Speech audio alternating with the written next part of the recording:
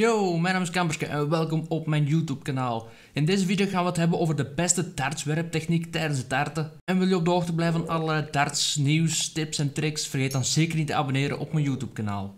Maar laten we het nu hebben over de beste dartwerptechniek.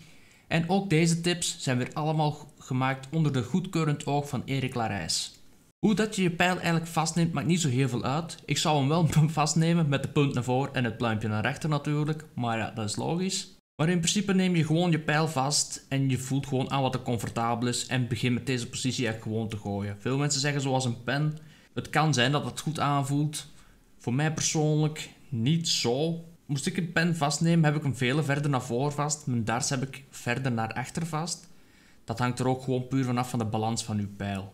Met hoeveel vingers dat je je pijl vastneemt, hangt echt heel verschillend af. De meeste grips zijn met 2, 3 of met 4 vingers. Ik persoonlijk heb hem met drie vingers vast.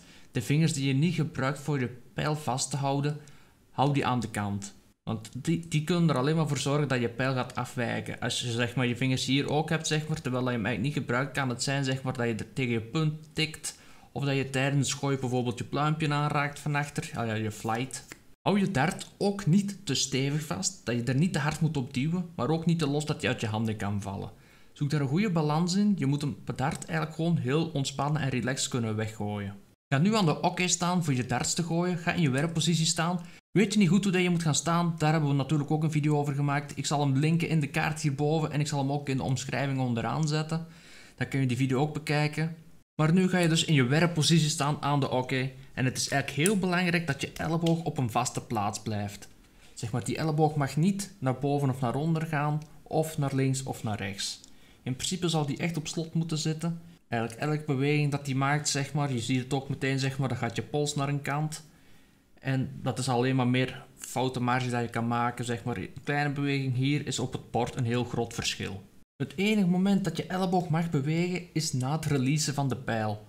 Eigenlijk na het releasen van de pijl, eigenlijk het loslaten van de pijl, gaat je elleboog omhoog komen en dat gaat er echt voor zorgen dat je je arm goed kunt doorzwaaien. Zwaai je arm ook niet te hard door dat je, dat je elleboog gaat overextenden.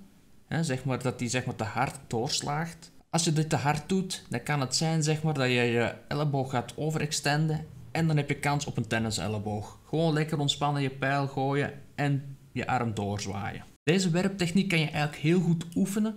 Bijvoorbeeld als je naar de bullseye wilt gooien. Je gaat gewoon in je werphouding staan zonder pijl vast. En je maakt je werpbeweging en je gaat gewoon naar de bullseye wijzen. Dat is in principe de beweging dat je moet doen. Dit hoeft nu niet per se naar de bullseye te zijn, dat kan ook naar de triple 20, naar de double 16, dat kan in principe zijn naar welk target dat je ook wilt. Gewoon ernaar wijzen. Doe dit een paar keer zonder pijl in je hand.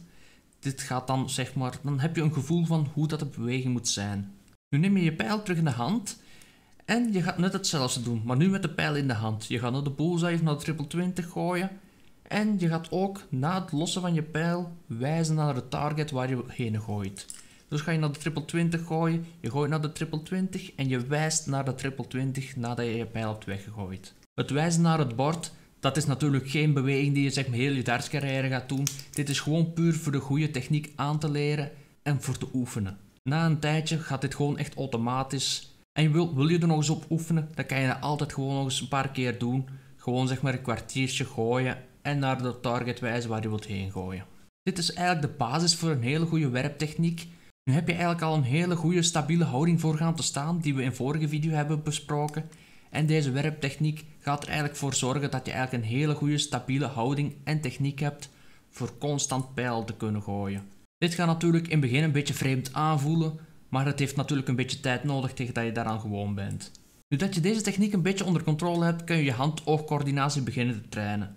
Geef dit een paar weken de tijd en dan zul je de resultaten wel zien beteren. Onthoud, alles moet gewoon relaxed en ontspannen aanvoelen terwijl je darts gooit. Hoe dat je staat, hoe dat je darts gooit, moet allemaal gewoon lekker ontspannen zijn. En natuurlijk, iedere speler heeft zijn eigen stijl, werptechniek en zo, maar dit is gewoon een goede basis van vanuit het vertrekken. Je kan hier en daar zelf wat dingetjes aanpassen, maar probeer zo min mogelijk beweging in je gooi te hebben, zowel in je staan als in je gooi zelf. Abonneer gratis op mijn YouTube kanaal door op de foto in het midden te klikken. Als je dit hebt gedaan, kan je altijd een van deze twee andere video's bekijken. Bedankt en tot in de volgende video.